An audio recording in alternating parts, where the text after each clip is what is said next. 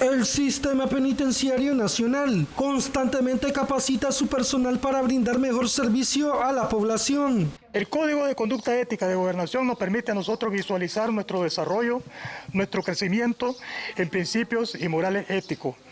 Nos permite precisamente visualizar nuestro futuro, el desarrollo como ser humano, es decir, el crecimiento como pueblo presidente. En la capacitación participaron 84 estudiantes de la Escuela Penitenciaria Comandante Alfonso Quiros Gómez, Estamos hablando acerca de ética, cómo nosotros tenemos que trabajar ante todo, poniendo en mente, ¿verdad?, cuáles son nuestras funciones principales.